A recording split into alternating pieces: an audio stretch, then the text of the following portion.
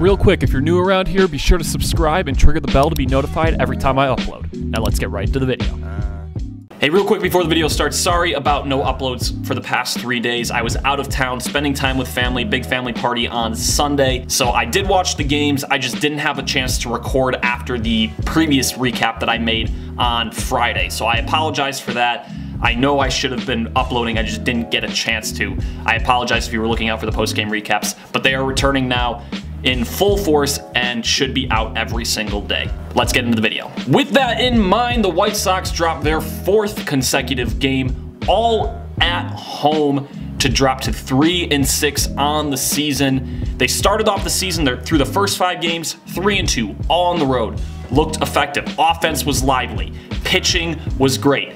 Then you come to this homestand, we don't have a single lick of offense, and the pitching is erratic. Today, Carson Fulmer was not himself. We saw Carson Fulmer towards the end of last season, and especially in his first start up in Toronto this season, he looked really, really good. He had command of his pitches. The strikeout pitch was working for him. He had some high, you know, mid 90 velo, which you would want to see from Fulmer. That's the type of pitcher he is. And today was the exact opposite.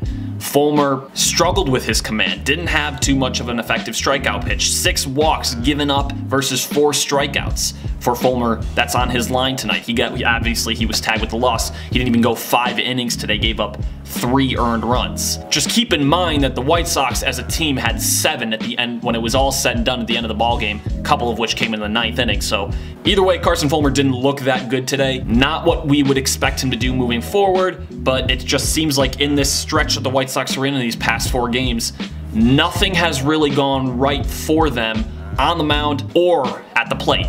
And speaking of the plate, the White Sox offense was abysmal up until the ninth inning. Once the ninth inning hit, something clicked for the lineup. They saw the pitches better. Obviously, Blake Snell was out of the ball game, but they had a better eye. They walked a couple of times in that ninth inning, got a couple of hits. Jose Abreu with a monstrous three-run homer to center field late in that ninth inning against Colome. The offense that's the first time, the ninth inning of today's game against the Rays is the first time in four games where I can say that the White Sox offense was actually alive. Because at the start of the season, they looked very lively, they looked good, they looked fun looked like an offense that could potentially be a threat against teams this season. Maybe not consistently, but it could be there at times. Through four games at home this season, they've looked terrible until the ninth inning of today's game. And at that point, it was too little too late. It was a rout coming into the ninth inning. They were down six to one. And then they tagged the, the Rays bullpen for four in the ninth inning, the final inning it was just too little too late. You need to have that type of offense earlier in the game if you want any type of success moving forward. I don't have much else to say about the game, but once again, the White Sox did lose 6 to 5 today.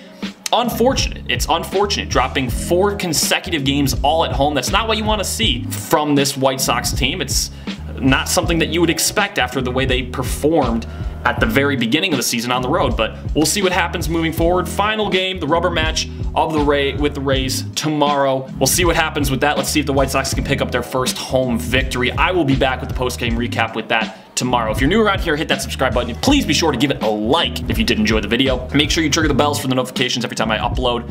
And again, my apologies for not uploading a video the past three days. I am back with the videos as per usual. Thank you so much for watching. We'll see you tomorrow. Peace.